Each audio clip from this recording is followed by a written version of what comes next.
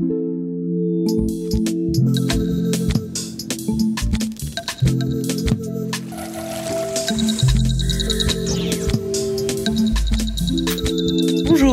Vous êtes sur Talent du numérique média, le média de l'orientation vers le numérique. Et si vous êtes là, c'est sans doute que vous cherchez à en savoir plus sur les parcours de formation ou les métiers du numérique. À travers nos podcasts ou vidéos, nous n'allons sans doute pas apporter de réponses complètes à toutes vos interrogations. Mais on s'est donné une mission, vous aider à vous poser les bonnes questions, si possible au bon moment. Pour ça, on est accompagné d'intervenants qui viennent du monde de l'enseignement, il y a des étudiants, il y a des profs, ou des professionnels du secteur, des gens qui sont en activité pour vous parler de leur métier, des gens des ressources humaines pour vous parler des évolutions des métiers, des compétences euh, requises. Notre objectif dans tout cela, faire en sorte que vous puissiez trouver dans le numérique la voie qui vous convient le mieux.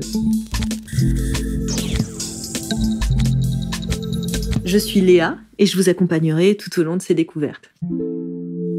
Notre sujet aujourd'hui, s'orienter vers le numérique de la troisième au lycée. Le numérique vous tente, or vous êtes en troisième et l'on vous demande de choisir un lycée pro, technologique, général, ou alors vous avez choisi votre type de lycée, ou vous y êtes déjà d'ailleurs, mais vous êtes face à un choix de spécialité, ou encore vous réfléchissez déjà à votre orientation post-bac. C'est toujours un peu angoissant d'imaginer l'impact d'une décision sur son avenir. Nous allons essayer ici, avec nos intervenants, de vous donner des clés de compréhension, de décodage, pour vous accompagner dans ce processus. De vous rassurer aussi, car vous le verrez, même si certains sont plus directs, différents chemins sont possibles vers le numérique. On accueille pour en parler Christine Gobert-Macon et Jean-Marie Chéneau, inspecteurs généraux de l'éducation, du sport et de la recherche, qui par ailleurs ont été enseignants en informatique l'un comme l'autre, Astrid Voitelier, déléguée générale du concours Puissance Alpha, et Eric Landfried, responsable pédagogique du concours GP Polytech, qui peuvent tous deux mener à des carrières numériques. Une vision d'avenir pour bien commencer? Toutes ces filières du numérique sont des filières de plein emploi, voire même de suremploi. Pour avoir dirigé euh, une école d'ingénieur pendant 12 ans qui avait quatre euh, spécialités dans le numérique et avoir beaucoup fréquenté les licences d'info et les masters d'info, je peux vraiment garantir que euh, l'ambiance est quand même excellente. On, voit bien que les jeunes n'ont aucun souci pour leur avenir. Merci à Jean-Marie Chéneau pour cette parfaite introduction. Le cadre est posé, nous allons donc parler de filières qui rendent plutôt heureux celles et ceux qui les suivent. Mais laissons nos deux premiers intervenants se présenter plus en détail. Je suis Christine Gobert-Macon, je suis inspectrice générale de l'éducation du sport et de la recherche et préalablement j'ai enseigné euh, l'informatique pendant une vingtaine d'années. Je suis Jean-Marie Chéneau, inspecteur général de l'éducation du sport et de la recherche et auparavant, euh, j'ai été pendant 25 ans professeur d'informatique euh, à Jussieu, à Sorbonne Université. C'est donc en bonne compagnie que nous allons rentrer dans le vif du sujet. Vous êtes au collège ou parent d'élèves au collège et devez remplir la fiche navette ou de liaison, faire un choix de lycée. Que faut-il retenir si le numérique vous intéresse? D'abord, pas de panique, tous les types de lycées peuvent mener au numérique. À la question comment choisir son type de lycée, pour le coup, toutes les filières, que ce soit la filière professionnelle, technologique ou la filière générale, propose des spécialités dans le numérique. Le numérique est accessible quelle que soit la, filière et le choix de la filière, comme toujours, et surtout par rapport à l'insertion professionnelle, soit à très court terme, et là c'est plutôt les lycées professionnels, soit à moyen terme, et là on est plutôt sur euh, la filière technologique, ou alors on vise des études longues et on est plutôt sur la filière générale. Néanmoins, à l'intérieur de chaque filière pro, techno ou générale, des spécialités ou des séries conduisent plus naturellement aux formations au métier du numérique. Lesquelles? C'est Christine Gobert-Macon qui nous répond. Au niveau du lycée, il y a euh, donc trois voies pour lesquelles euh, les, collégiens peuvent choisir. Donc la voie générale, et donc dans la voie générale, euh, l'enseignement de SNT en seconde va, va permettre à tous les élèves de bénéficier d'un enseignement d'informatique.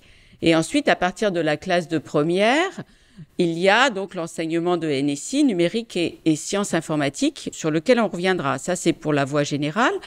Dans la voie technologique, il y a, on va dire, deux bacs, enfin deux séries qui, permettent de, préparer euh, à des formations numériques, donc la série STI 2D, Sciences et technologies de l'industrie et du développement durable, qui propose en terminale un enseignement spécifique qui s'appelle Système d'information et numérique, et puis la série euh, Sciences et technologies du management et de la gestion, qui propose en terminale un enseignement spécifique Système d'information de gestion.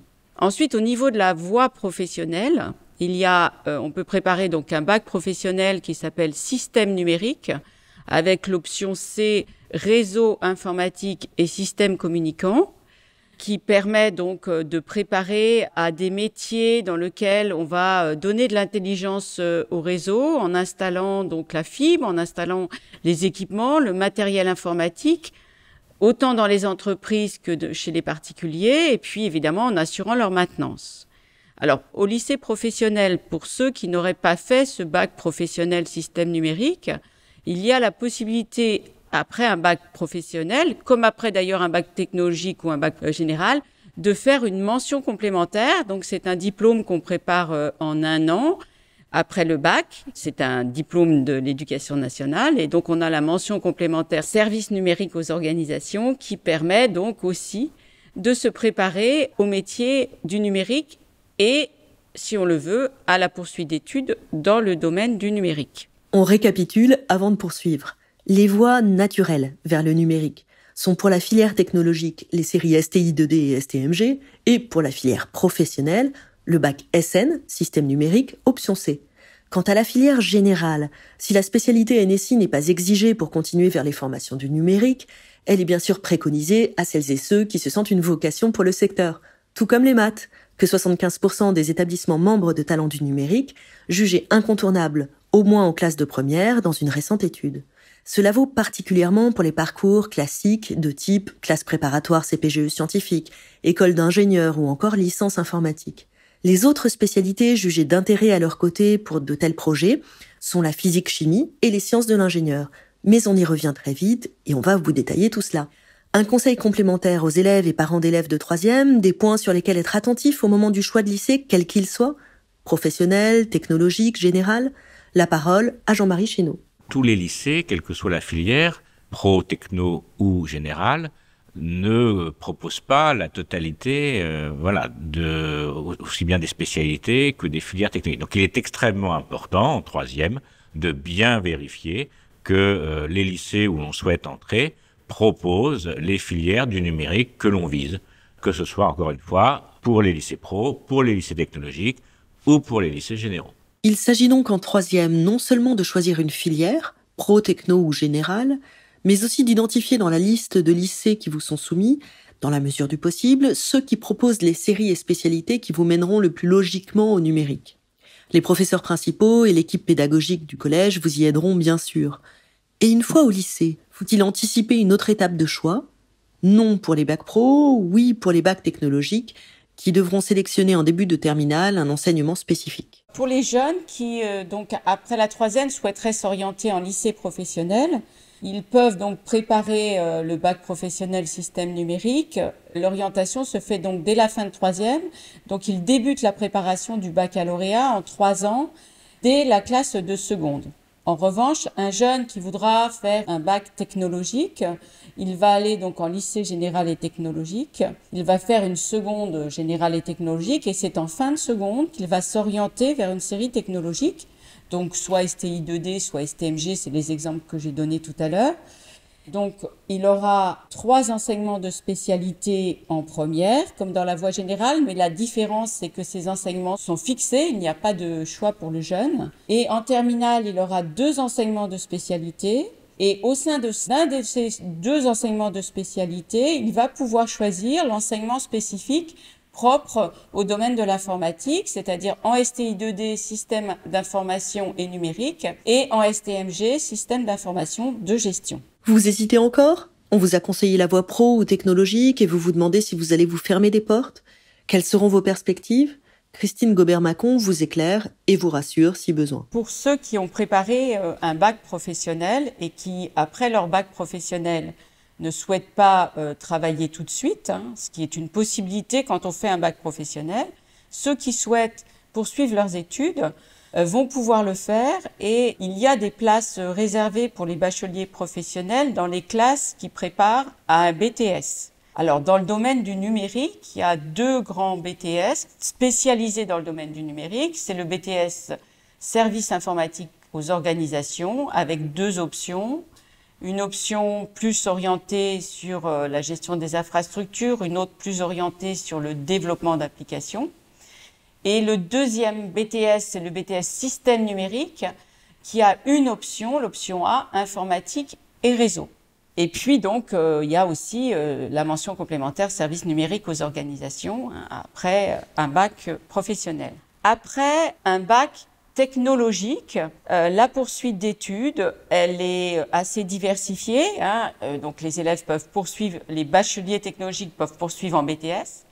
Ils peuvent aller en IT et donc préparer un bachelor universitaire de technologie ou alors se destiner à des écoles euh, d'ingénieurs, par exemple, grâce à des classes préparatoires qui sont dédiées aux bacheliers technologiques. À noter en complément, les bacheliers STI 2D peuvent aussi accéder aux écoles d'ingénieurs juste après le bac par une voie qui leur est dédiée dans certains concours d'écoles d'ingénieurs.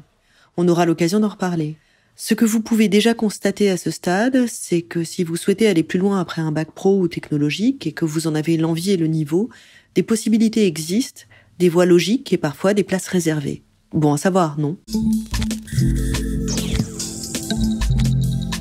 Mais si vous êtes parti pour faire un bac général, vous attendez peut-être avec impatience qu'on rentre dans le détail des parcours possibles. Nous y voilà. Petit focus tout d'abord sur la réforme du bac général. Qu'a-t-elle changé pour le numérique? Eh bien tout. N'est-ce pas, Jean-Marie Chéneau Alors, du point de vue du numérique, ce qu'il faut retenir de la réforme du bac, alors là, c'est très très simple. Cette réforme a permis à l'informatique de devenir une discipline à part entière au lycée.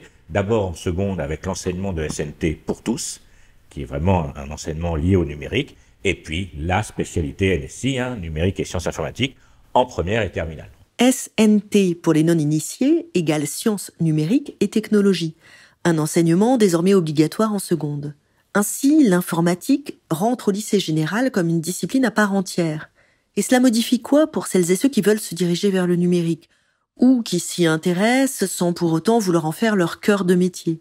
Nous allons bien sûr parler de choix de spécialité. Je rappelle que les élèves en seconde doivent choisir trois spécialités et après, en première, ils doivent choisir les deux spécialités qu'ils conservent parmi les trois premières pour la terminale. Que penser de NSI et quelle position adopter face à cette discipline si l'on veut poursuivre dans le domaine du numérique? La spécialité NSI, j'allais dire, s'impose. Elle est faite pour ça. Alors, ce n'est pas parce qu'on n'a pas suivi NSI d'abord parce que NSI n'est pas partout présente dans tous les lycées, cette spécialité, que euh, on ne pourra pas rejoindre des filières du numérique, mais il est certain qu'elle facilite cette spécialité, c'est son but, hein, elle facilite l'insertion dans les filières du numérique dans l'enseignement supérieur. Elle est un gage euh, de réussite dans ces filières. Et quelles autres disciplines associées à NSI Tout dépend. Est-ce que vous vous projetez dans une formation ou un métier qui a évolué avec le numérique, qui l'utilise et dans lequel cette spécialité vous ouvrira des portes? Ou plutôt dans un métier dont le numérique et l'informatique seront vraiment le cœur de votre pratique? À la question quelle spécialité doit-on choisir quand on prend NSI, les deux autres spécialités en première et une autre spécialité en terminale? En fait, le choix est extrêmement large. L'informatique est partout. Donc de toute façon, justement, si on veut poursuivre en histoire-géographie euh, ou, euh, ou latin-grec, euh, il y a des applications formidables du numérique pour les égyptologues. La compétence informatique est un plus, quoi qu'il arrive. Donc, j'allais dire presque toutes les doublettes avec NSI pour la terminale ont un sens. Parce que dans tous les métiers, le numérique arrive.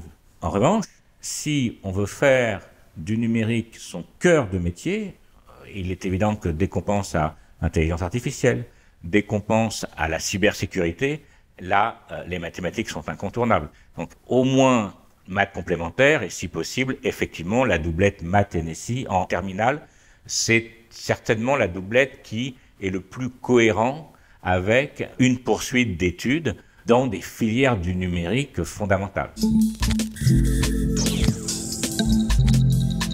Choisir la voie générale, c'est s'engager le plus souvent vers des études longues, c'est-à-dire plutôt un bac plus 5. Pour voir plus de formations menant à des parcours du numérique et leurs prérequis, y compris concernant les choix de spécialité ou de bac, pensez à consulter notre site talentdunumérique.com, talent avec un S, et à écouter aussi nos podcasts dédiés à l'entrée en licence informatique, en école spécialisée ou en école d'ingénieur. Mais comme vous êtes là, et nous aussi, nous vous proposons de creuser le sujet des spécialités pour le bac général avec nos deux autres intervenants, Astrid Voitelier, déléguée générale du concours Puissance Alpha, et Eric Lanfried, responsable pédagogique du concours GIP Polytech. À eux deux, ils représentent en effet près de 50 écoles d'ingénieurs privées et publiques, proposant notamment des débouchés vers le numérique.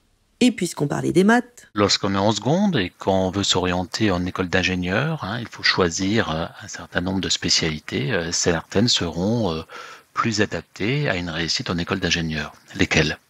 Évidemment, les mathématiques. Hein, une formation d'ingénieur est quasiment impensable sans un bagage mathématique suffisant. Ce qu'en dit Astrid Voitelier Vous ne ferez pas une école d'ingénieur si vous n'avez jamais fait de maths à un moment donné dans votre scolarité, car c'est une façon de penser, c'est une logique, c'est un outil qui va vous servir à intégrer et à comprendre la suite des enseignements qu'on va vous proposer en école d'ingénieur aujourd'hui.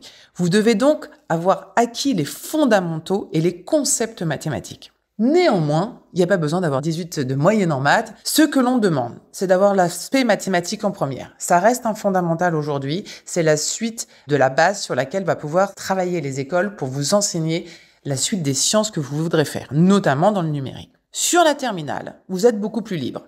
Si l'élève est bien plus intéressé et bien meilleur dans deux autres sciences que les maths, il peut faire ce choix-là et garder maths complémentaires. Il n'est pas obligé, encore une fois, de faire l'aspect maths et encore moins maths experte juste pour essayer de se dire que sinon il n'aura aucun autre choix. Ce n'est pas vrai. On fait des maths en première et en terminale, on choisit les deux sciences, celles qui nous passionnent le plus. Il faut bien comprendre que si on a une allergie aux maths, c'est clair et net qu'on fera pas une école d'ingénieur parce que c'est quand même toute une structure de pensée, mais que ce n'est pas non plus quelque chose qui est obligatoire corps et âme en terminale si vous avez deux très bonnes autres sciences. Donc maths en première et à minima maths complémentaires en terminale. Eric Landfried confirme et conseille de son côté, dans la mesure du possible, de conserver les maths en terminale. En première, sa faveur va au triptyque maths physique NSI. NSI, numérique et sciences informatiques, paraît assez évident. Au-delà de rentrer déjà dans cette science informatique, euh, cette spécialité permet aux lycéens de tester leur goût hein, par rapport à cette nouvelle discipline. Hein. Beaucoup de jeunes euh, s'intéressent au domaine de l'informatique, mais entre utiliser l'informatique et finalement en faire un métier euh, et rentrer dans la science informatique, il a un pas et ce pas, il est très intéressant qu'il soit testé euh, en première à travers le choix de cette spécialité. Pour Astrid Voitelier, NSI est aussi un choix logique lorsqu'il est possible. Moi, je dirais que si le monde du numérique vous passionne, surtout n'hésitez pas à choisir cette spécialité. Néanmoins, si l'élève découvre cette passion bien plus tardivement et qu'il n'a pas pris cette spécialité NSI, ou qu'il n'a pas osé l'apprendre, ou que son lycée éventuellement ne la proposait pas, ce n'est absolument pas un problème pour intégrer une grande école d'ingénieurs dans le numérique. Si on a l'aspect NSI, eh ben, tant mieux, ça peut être un plus. Si on ne l'a pas, en tous les cas, ce ne sera pas un handicap. Et surtout, il ne faut pas oublier qu'on va aussi regarder, pour intégrer une grande école, tout ce que l'élève a pu faire à côté. Et l'auto-formation ou des projets personnels très forts dans ce domaine peuvent avoir un vrai impact. Donc, si ça vous passionne, faites-le. Si vous le découvrez un peu plus tard, ce n'est pas grave. Vous aurez toujours la chance d'intégrer une grande école d'ingénieurs vers le numérique. Et si vous optez effectivement pour trois spécialités scientifiques en première, quel peut être l'intérêt de la physique aux côtés de maths et NSI quand on s'intéresse au numérique? Eric Landfried éclaircit ce point pour vous et nous, l'occasion de parfaire également votre culture numérique. Le domaine du numérique au sens large euh, est basé sur euh, certains domaines de la physique. Hein. Il faut penser donc euh, aux différents composants. Derrière les composants informatiques, il y a donc des matériaux particuliers et qui fonctionnent euh, avec euh, les lois de la physique quantique. Pour programmer tous ces composants, on est dans le domaine de l'électronique. Hein. Les informations circulent d'un composant à l'autre à l'aide de signaux électriques. Les euh, réseaux fonctionnent euh, aussi bien sur des réseaux euh, filaires, des fibres optiques, des ondes électromagnétiques. Hein. On passe, on pense au Bluetooth, on pense au Wi-Fi par exemple. La physique peut donc représenter un atout en ce qu'elle vous permet de mieux appréhender certains aspects du numérique. Mais si ce n'est décidément pas votre tasse de thé? Le plus important, c'est de oser et de faire ce que l'on aime. Et cette réforme du bac, c'est votre chance. Vous avez la chance de pouvoir choisir les spécialités qui vous plaisent. Alors, on part toujours du principe que quand on fait, quand on a envie d'aller vers des écoles d'ingénieurs, on reste dans un domaine des sciences. Mais nous ne sommes plus obligés, avec la réforme du bac, de faire la sainte trilogie maths, physique, chimie, SVT. L'objectif, c'est de choisir ce qui vous plaît, ce qui plaît au candidat, parce qu'on pense que l'élève sera meilleur, plus épanoui, et donc ce sera un profil beaucoup plus intéressant à recruter. S'il choisit des spécialités qui lui conviennent mieux, dans lequel il est beaucoup plus à l'aise, oser, c'est ça le plus important, et c'est ce que vous permet la réforme.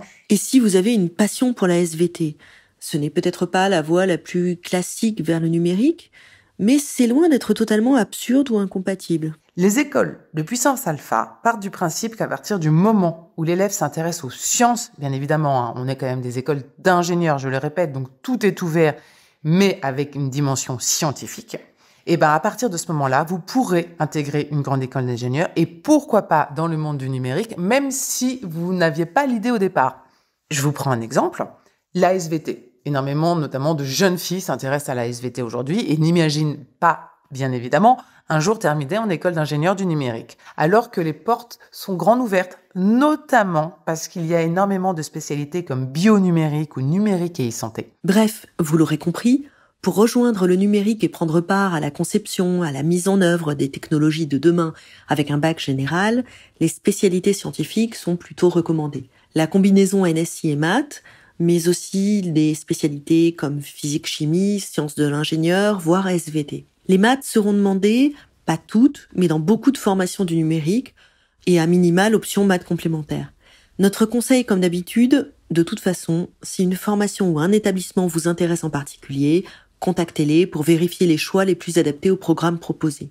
Mais que nous disent nos deux représentants des écoles d'ingénieurs post-bac concernant les autres types de bac, pro et technologiques Globalement, il n'est pas impossible de préparer un diplôme d'ingénieur et d'autres formations de niveau bac plus 5 d'ailleurs avec un bac pro, mais difficilement en post-bac. Comme vous le rappelez, Christine Gobert-Macon plus tôt, ce n'est d'ailleurs pas la vocation initiale du bac pro qui favorise une insertion rapide. Néanmoins, on a le droit de changer dans la vie et des passerelles existent pour cela, en postulant après un BTS par exemple. À signaler pour une entrée post-bac pro, de nouvelles formations en trois ans ont récemment vu le jour dans certaines écoles d'ingénieurs, validées par la très officielle CTI, Commission des titres d'ingénieurs. Astrid Voitelier vous en dit un mot. Tous les bacs sont possibles. Nous regroupons 15 grandes écoles d'ingénieurs et elles vont vous ouvrir les portes si vous cherchez à faire des études dans le numérique, quel que soit le bac que vous avez choisi, mais pas de la même façon. Si vous avez un bac général ou un bac technologique avec des spécialités scientifiques, bien évidemment, parce que si vous êtes fan d'histoire de l'art, ça va être quand même beaucoup plus compliqué d'aller faire une école d'ingénieur.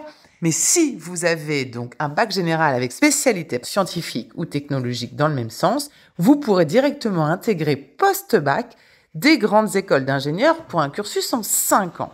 Si vous choisissez un bac pro, il existe certains bachelors qui vont néanmoins vous ouvrir les portes pour des études dans le numérique. Un bachelor de 3 ans en ingénierie vers le numérique. Bien évidemment, si vous avez un bac général et techno, ces bachelors vous sont aussi, bien évidemment, offerts et c'est tout à fait possible d'y rentrer. Donc l'essentiel pour nous, c'est de prendre ce que vous préférez, là où vous vous sentez bien, et sachez que même s'il y aura des différences dans le type d'études que vous ferez à la sortie, il est néanmoins possible d'intégrer des écoles d'ingénieurs. À noter en complément, le bachelor est un type de diplôme qui se développe également sous une autre forme dans les écoles spécialisées en informatique, où il est le plus souvent accessible au bac pro, comme aux autres, parfois directement en alternance.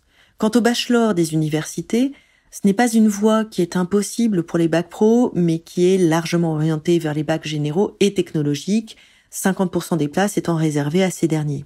N'oubliez pas, bien sûr, pour les bacs pro, les BTS SIO et ISN dont vous parlez Christine Gobert-Macon tout à l'heure. Mais creusons à présent les cursus ouverts au bac technologique avec les profils STI2D auxquels nombre d'écoles d'ingénieurs réservent des places post-bac comme post-prépa. Attention toutefois, un exemple pour le concours JP Polytech est assez parlant. En 2021, 3538 places sont ouvertes au bac généraux, 218 pour les STI2D ou STL.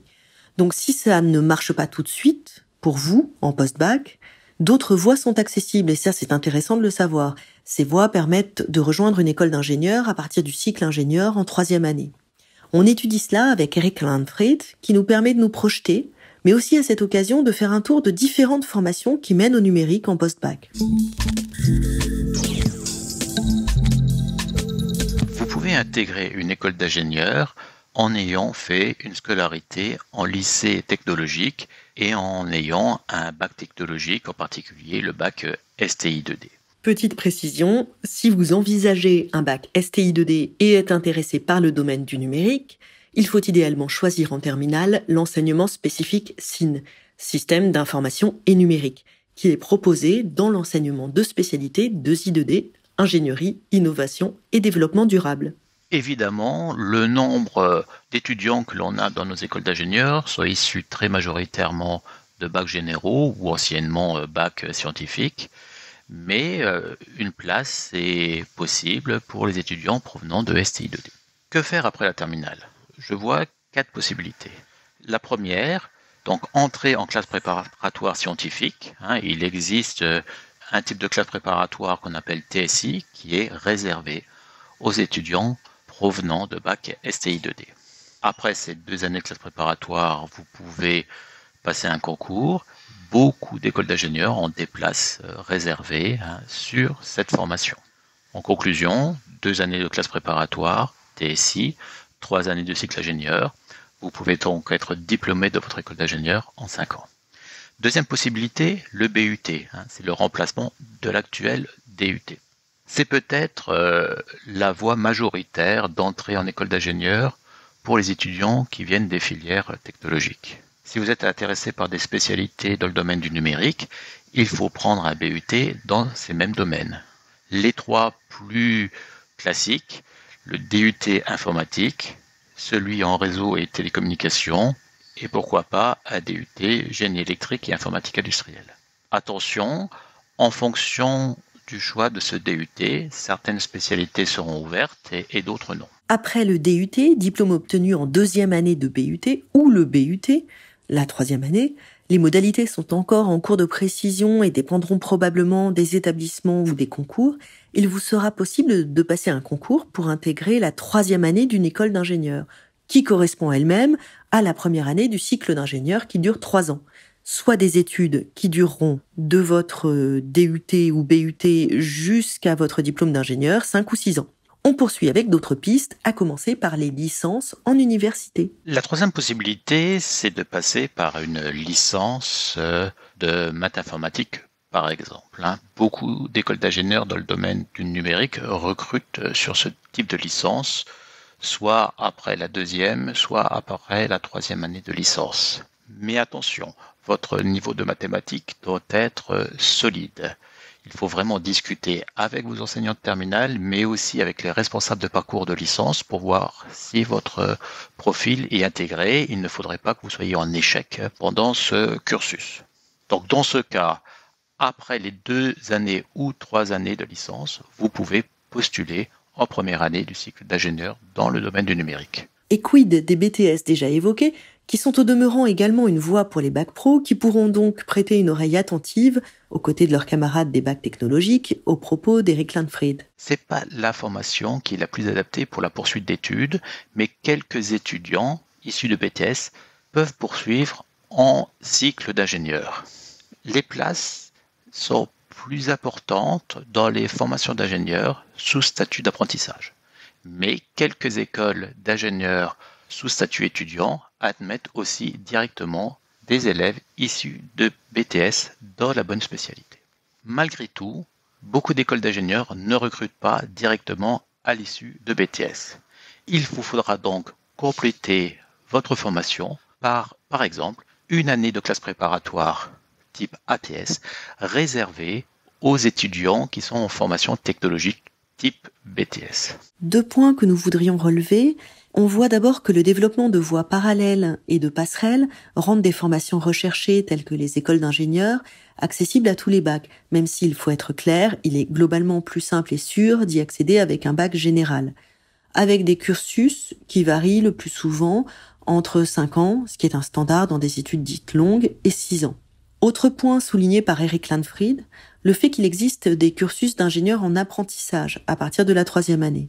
Ces voies parallèles peuvent aussi permettre à un, une étudiante qui le souhaite parce que ça correspond mieux à son profil ou et pour faciliter le financement de ses études, par exemple, de poursuivre ses études dès le post-bac en apprentissage. Et bien sûr, si vous avez un bac général, les filières évoquées notamment par Eric Landfried sont également des pistes valables pour une orientation post-bac vers des métiers du numérique, prépa CPGE, plutôt MPSI ou MP2I alors avec un bac général, BUT, BTS, licence, mais aussi bachelor, comme Astrid Voitelier l'évoquait, ou encore école spécialisée. Nous arrivons à la fin de ce podcast. Merci à tous nos intervenants, Christine Gobert-Macon, Jean-Marie Chénaud, Astrid Voitelier, Eric Lindfried. Que vous soyez en fin de collège ou au lycée, avec le RAID, vous aurez, nous l'espérons, mieux compris les choix qui s'offrent à vous pour rejoindre le numérique, filière de bac, spécialité, etc. Et vous pourrez y réfléchir entre amis ou en famille. Vous aurez aussi vu à travers l'exemple des écoles d'ingénieurs que les voies d'accès sont multiples avec de l'envie, avec de la motivation, chacun et chacune, quel que soit son parcours, sa personnalité, peut tracer sa route vers ce secteur porteur avec succès. À la clé, des perspectives d'avenir plutôt sympas, surtout dans un moment où on a tous besoin de bonnes nouvelles. N'est-ce pas, Madame Gobert-Macon Il faut savoir que s'engager dans des études dans le domaine du numérique, euh, c'est s'assurer un emploi pérenne, euh, des possibilités d'évolution et aussi des possibilités de mobilité géographique, notamment à l'international. Les cartes sont désormais entre vos mains. Bonne réflexion à toutes et tous. Nous vous le rappelions plus tôt, nous n'avons pu aborder bien sûr tous les types de cursus d'études post-bac possibles vers le numérique et leurs prérequis associés, mais pour en savoir plus, vous pouvez consulter notre site, nos autres podcasts, nos réseaux. À très vite sur Talent du numérique média. Ce podcast a été réalisé par Talent du numérique, une action financée et pilotée par l'OPCO Atlas, selon des axes de coopération définis dans la convention signée avec le ministère de l'Éducation nationale et de la jeunesse, le ministère de l'Enseignement supérieur, de la recherche et de l'innovation, avec le concours des fonds collectés au titre de la taxe d'apprentissage.